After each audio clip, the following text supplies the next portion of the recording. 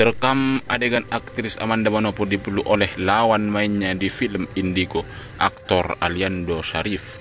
Bandingkan dulu ketika sang pemeran Andin sinetron Ikatan Cinta kerap dipeluk lawan mainnya juga, aktor Arya Saloka. Adegan Amanda dipeluk Aliando ini terjadi ketika keduanya menjadi bintang tamu podcast di YouTube Ogel Zulfianto. Kejadian itu tak ayal menuai sorotan dari penonton konten tersebut. Berdasar pantauan banjarmasinspot.co.id konten video tersebut Selasa 14 11 20 23 kejadian itu berawal dari Ogel yang mengajak para bintang film Indigo bermain tanya jawab. Siapa si paling? Kala itu Ogel melontarkan pertanyaan siapa si paling lawak? Masing-masing dari mereka sudah memegang anak panah untuk menunjuk satu sama lain. Ternyata di sini Amanda langsung menunjuk Aliando dengan gesit Sementara Sarah Wijayanto cukup kebingungan untuk memberi jawaban. Awalnya Sarah menunjuk Aliando, namun tiba-tiba berubah kepada Amanda. Berbarengan dengan Sarah, Aliando yang awalnya terdiam akhirnya juga menunjuk Amanda.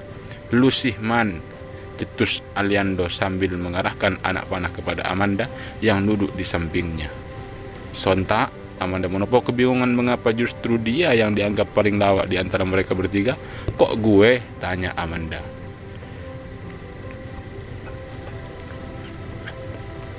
Berbarengan dengan Sarah. Lando beralasan Amanda memang lawak bahkan saat diam saja Amanda terlihat lucu. Ya lo lah, tegas Aliando. Lo lah, timpal Amanda. Lo diam aja lucu, sahut Aliando. Mendengar ucapan Aliando, seluruh orang di dalam studio dibuat tertawa. Dalam kesempatan itu, Aliando lantas memeluk Amanda. Namun tidak lama, Amanda segera menarik badannya sambil berteriak, "Eh, eh, eh, eh, eh, eh!" teriak Amanda. Jadi, siapa Ali yang paling lucu?